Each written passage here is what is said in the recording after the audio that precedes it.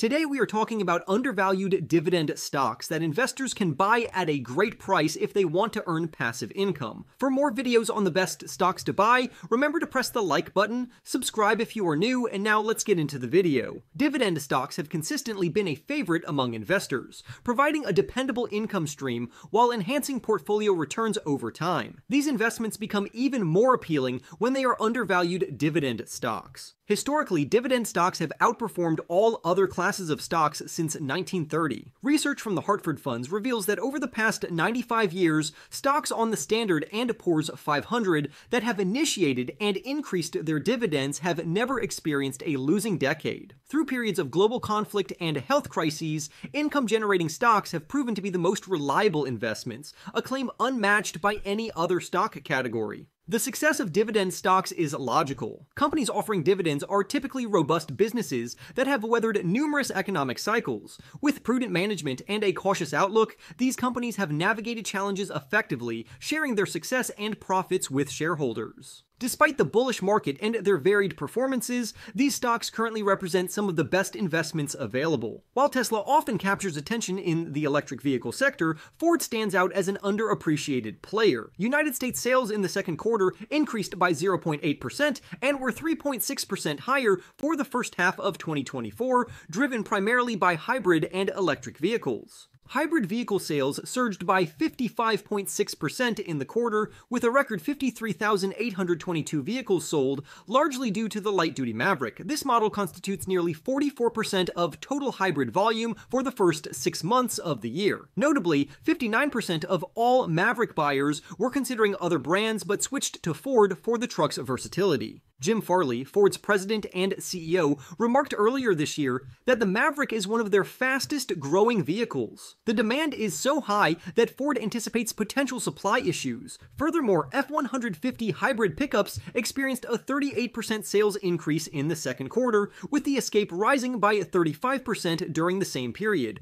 Ford, having shifted its focus from battery electric vehicles to hybrids, is now reaping significant benefits. Although Ford's stock has increased by 7% in 2024, it trades at less than seven times next year's earnings. With a dividend yield of 5.3% annually, Ford is a compelling undervalued dividend stock. Benchmark Electronics, a small cap leader, has seen its stock rise by 41% this year and 51% over the past 12 months. This semiconductor capital equipment manufacturer is a hidden gem in the artificial intelligence sector, providing design, engineering, technology, and manufacturing services for original equipment manufacturers, as well as serving the aerospace, defense, and medical industries. The widespread adoption of artificial intelligence across various markets, including semiconductors, has driven a sales surge for Benchmark. Semiconductor sales, its largest market, saw a 12% revenue increase, while aerospace sales soared by 35%. Adjusted profits grew by 8% to 55 cents per share.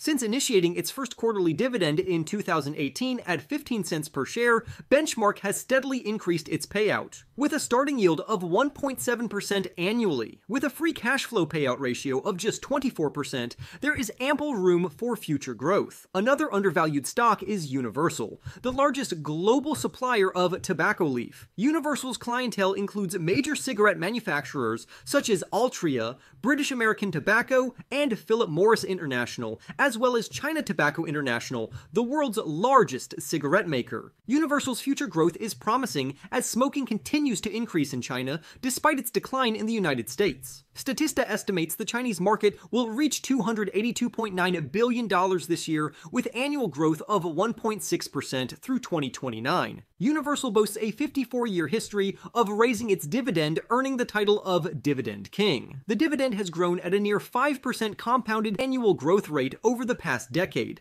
with a current yield of 6.8% annually. Recognizing the declining domestic tobacco market, Universal is diversifying into plant based ingredients and food products. Although still a small segment, this business is expanding. President and CEO George Freeman stated that Universal has entered several new partnerships to supply innovative products leveraging its new capabilities. Cardinal Health, a major player in the medical supplies and drug distribution industry, had approximately $190 billion in United States drug sales last year, accounting for one quarter of the total market. Alongside Cencora and McKesson, Cardinal Health supplies 90% of the market. Cardinal serves nearly 90% of all United States hospitals, over 60,000 United States pharmacies, and more than 10,000 specialty physician offices and clinics. Additionally, it provides more than 3.4 million patients with over 46,000 home healthcare products.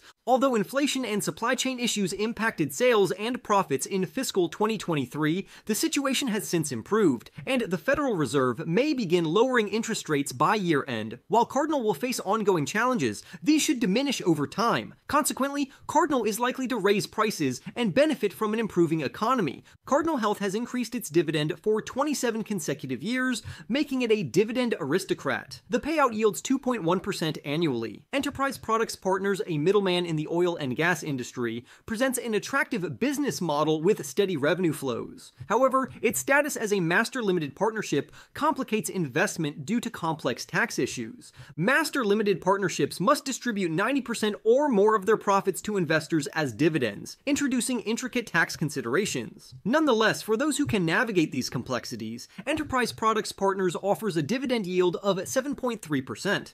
The company, which owns storage and pipeline transportation, profits regardless of the direction of oil and gas markets due to long term fixed contracts. With favorable long term prospects for the oil and gas industry, Enterprise Products Partners is an appealing undervalued dividend stock. RTX, the second largest defense contractor, formerly known as Raytheon, manufactures various defense systems, with missile systems being a key component.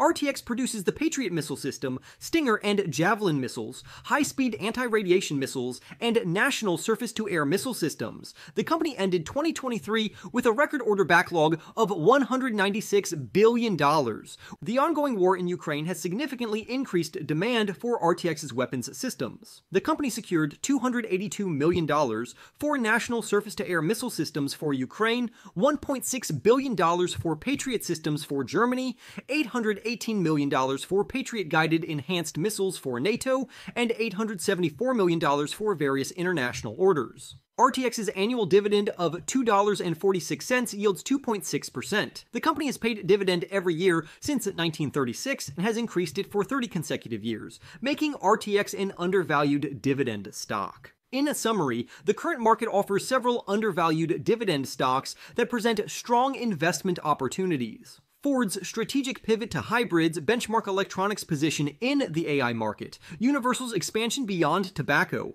Cardinal Health's extensive distribution network, Enterprise Products Partners' resilient business model, and RTX's robust defense portfolio all exemplify the potential for solid returns and reliable income. Investing in these undervalued dividend stocks could provide substantial benefits for investors seeking stability and growth. For more videos, remember to press the like button, subscribe if you are new, and I will see you in the next video.